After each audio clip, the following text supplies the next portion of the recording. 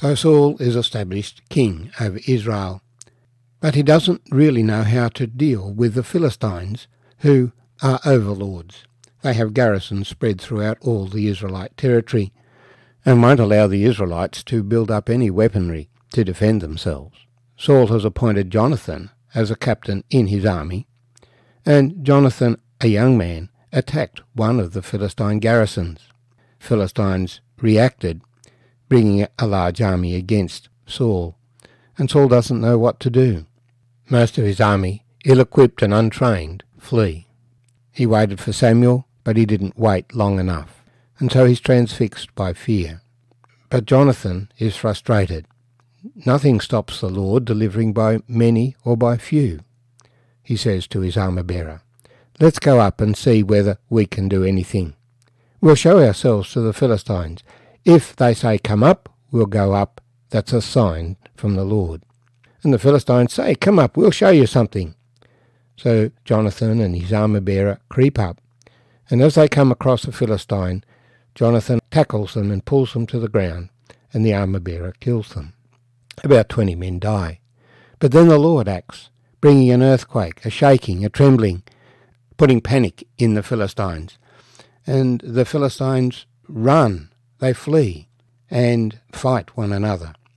Israelites among the Philistines turn against the Philistines. Israelites hiding in the hills come out of the hills to chase after the Philistines. And Saul has come to observe what was happening and to join in the battle.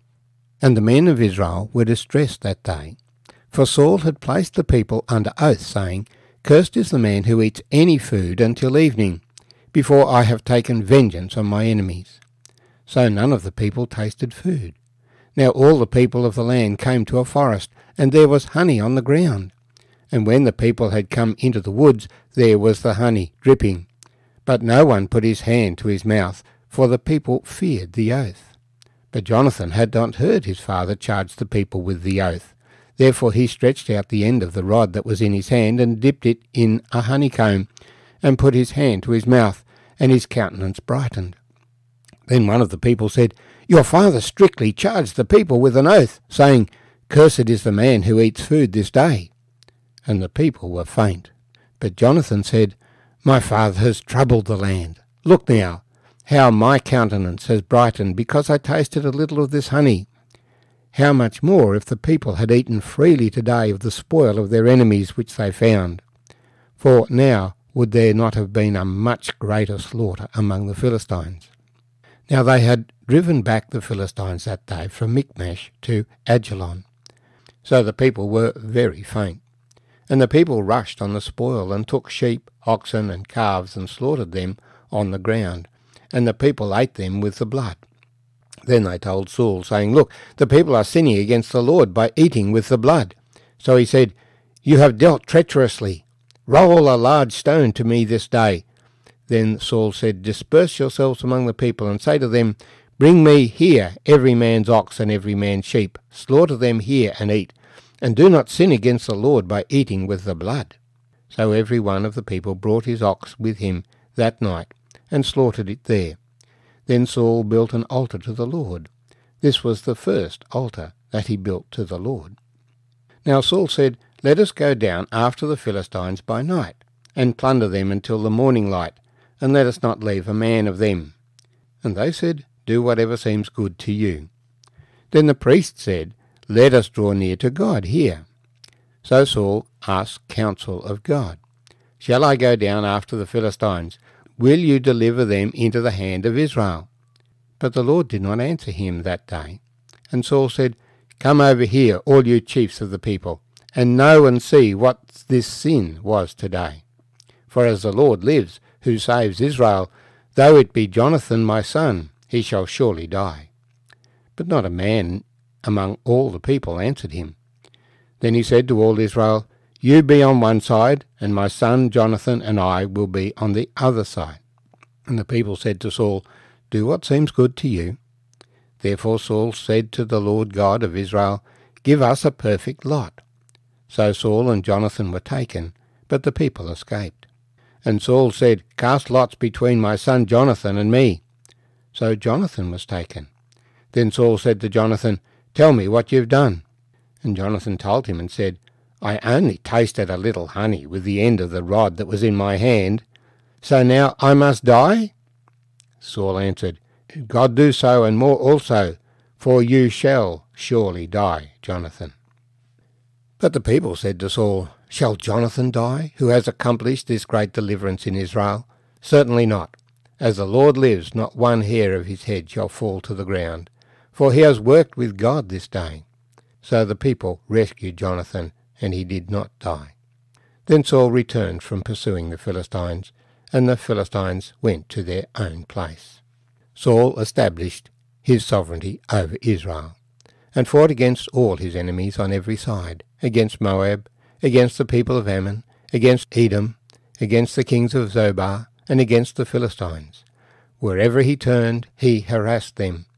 And he gathered an army and attacked the Amalekites, and delivered Israel from the hands of those who plundered them. The sons of Saul were Jonathan, Jeshua, and Malchishua, and the names of his two daughters were the firstborn Merab, and the second Michal. The name of Saul's wife was Ahinoam, the daughter of Ahimaaz. And the name of the commander of his army was Abner, the son of Ner, Saul's uncle.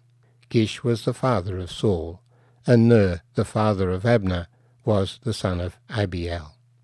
Now there was fierce war with the Philistines all the days of Saul, and when Saul saw any strong man or any valiant man, he took him for himself. My name's Arthur, and I thank you for joining me as we shared the conclusion of 1 Samuel chapter 14. Saul is still trying to find his feet as a commander of the Lord's army. He didn't know when to act. When he did act, he made foolish commands, like requiring the people not to eat. But they're in a battle. They should eat while they're fighting. And so the people run out of steam and do not have a greater victory as they should have. Jonathan had not heard the ban on eating, and he had eaten, not in rebellion to his father, but because the opportunity was there. When the sun set and they were allowed to eat, the people were famished. They killed livestock to eat them, but they were not slaughtering them properly.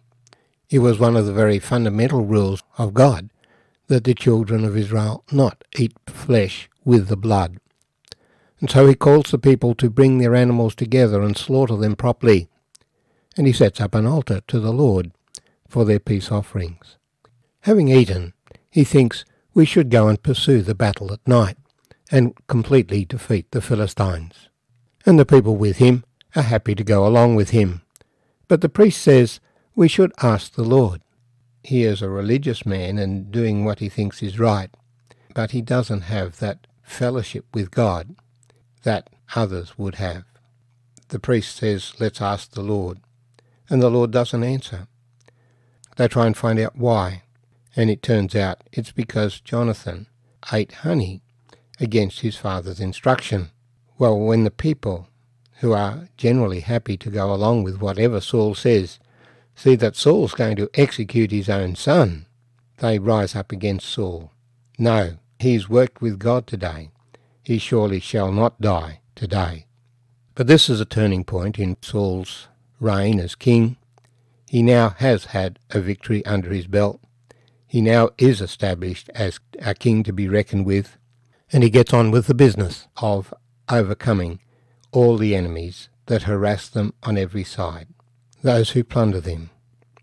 And of course, the key one who's fighting against them are the Philistines, and the battle with the Philistines will last many, many years. Saul will never overcome the Philistines, though he continues to resist them. But whenever he sees a valiant man, he recruits him into his army. We're told of his family, three sons and two daughters. He appoints his cousin, Abner, the son of Ner, as commander of his army.